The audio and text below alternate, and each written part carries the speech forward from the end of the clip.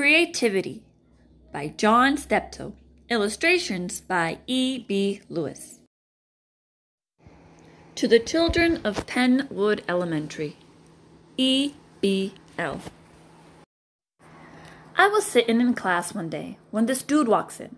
He went over to Mr. Cohen's desk. Mr. Cohen's all right. He's my teacher. Mr. Cohen stood up and said the new kid was named Hector. Hector's whole name was one of them long numbers. I'd get out of breath just trying to say it. Hector's family just moved here, Mr. Cohen said. He'll be in our class. His two sisters will be going to school here too. I hope we will all look out for Hector until he learns the ropes. Then Hector said something to Mr. Cohen, and Mr. Cohen said something back. What language you talking, Mr. Cohen? I asked. Spanish, Charles. Hector's from Puerto Rico, Mr. Cohen told me. I didn't get it. How could that guy be from Puerto Rico? He was the same color as me, and I'm not from Puerto Rico. His hair was black like mine, but it was straight. At the end of the day, Mr. Cohen asked us, Does anybody live near 66 Virgin Street? Hector and his sisters might need someone to make sure they don't get lost on the way home. I raised my hand. I'll walk 'em, I said. I live right down the corner from there. I went up to the front of the room and Mr. Cohen said, Hector, this is Charles. He's going to walk home with you, okay? Hector nodded and said, okay. Mr. Cohen, he can talk English, I said.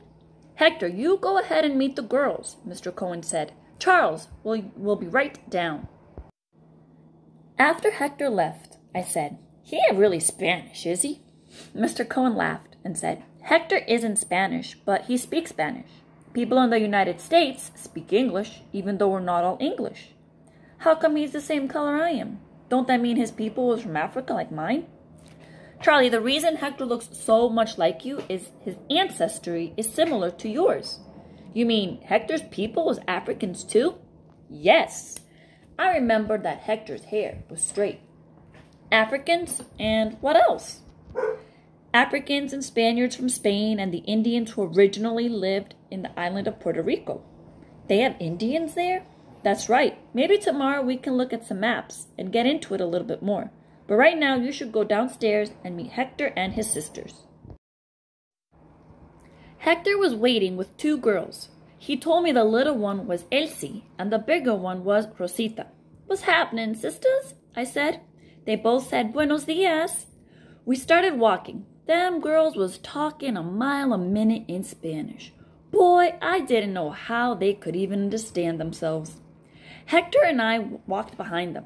Hector started telling me about his home in Puerto Rico. It wasn't easy to understand him at first, but I listened real hard. Hector's a nice dude, I thought. When I got home, I was telling my mother about Hector. I didn't know there were Puerto Ricans that looked just like us, I said. Yes, they come from pretty much the same type of people we come from, said Mamma. Your father has some Cuban blood in him, and Cuba isn't far from Puerto Rico. Yeah, I never knew I was part Cuban.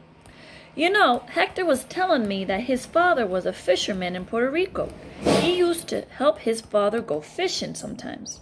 I didn't know people did things like that anymore. I thought they had machines to catch fish. Mama was smiling.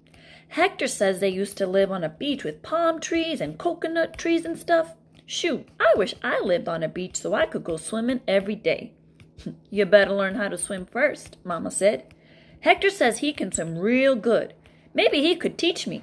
Maybe, said Mama. Later, when we was having dinner, I was telling my father about Hector and swimming lessons. I was thinking, I could trade teaching him how to speak good English, I said. Mama laughed. And who's going to teach you? Daddy smiled and said, Charlie's just being creative with his language. Right, Charles? Mama and Daddy laughed. I laughed too, but I didn't know what we was laughing at. What's creative, Daddy? That's like when a musician takes a song and does something different with it. Different from what anybody else does. Or when three painters sit in front of the same bowl of fruit and come up with three different pictures.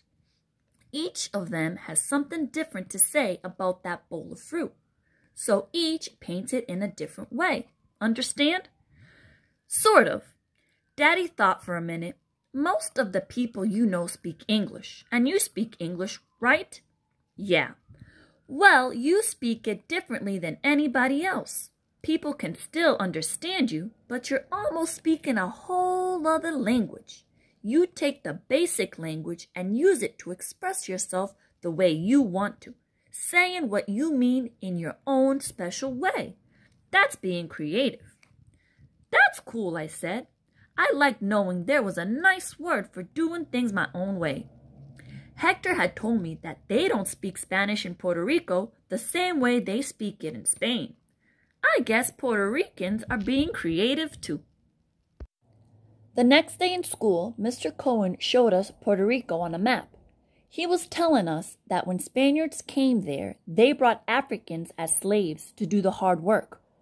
The way the English made slaves out of the people that I probably come from and brought them to the United States and then about how Spanish people who came to the islands and the Africans and the Indians that already lived there and some Chinese people had all mixed together to make Puerto Ricans.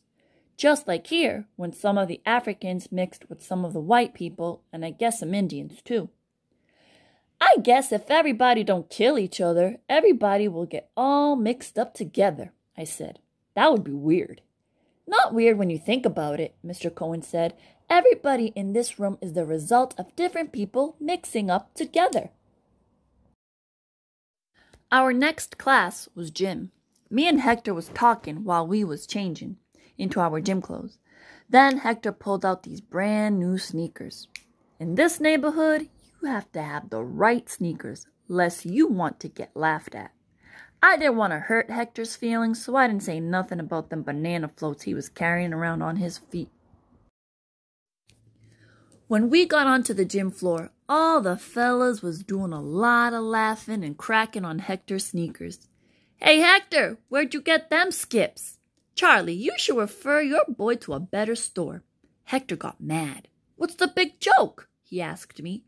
Aw, uh, they're just acting stupid, I said, 'cause you dress different. What do you mean? Well, your sneakers and that shirt. He looked down at the palm tree shirt. My grandmother gave me this shirt, he said. I really like it. It reminds me of my home. And what's wrong with my sneakers? Well, people around here are really into sneakers, and nobody wears that kind. My mother just bought them for me, said Hector. They're brand new. She doesn't have money to buy me another pair. Don't worry about it, I said. You're still my boy, even if you do dress weird. When I got home, I checked my closet. My mother came into the room while I was looking. Charlie, what you doing? I'm looking for my other sneakers. You've got sneakers on your feet. How many pairs can you wear? They're not for me, they for Hector, I explained. He didn't know the right kind to buy, and his mother can't get him no more because she already bought him some. And I can't have none of my friends walking around looking funny if they're going to hang out with me. Well, I guess they're your sneakers, Mama said. The next day was Saturday. I took the sneakers and went over to Hector's house. Rosita answered the door. Buenos dias, I said. She showed me where Hector's room was, doing a lot of giggling. I went in. What's happening, my man?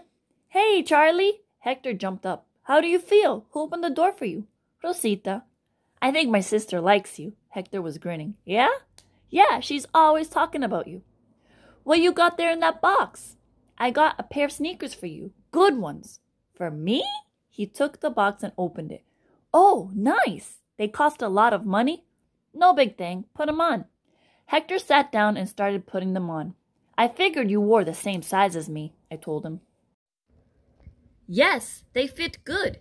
He stood up and bounced a little. Let's go play some ball, I said. Try 'em out. Okay, Hector said. Then he said, wait a minute. He went to his closet and pulled something out and handed it to me. Here. It was his palm tree shirt. You're going to give me your shirt? You don't have to do that, I said. It's a good exchange, Hector said. I put on the shirt and looked myself in the mirror. It looked great, and suddenly I knew exactly what to say. Your gift to me is very creative, Hector, I said. I like it. Then we went out to play ball.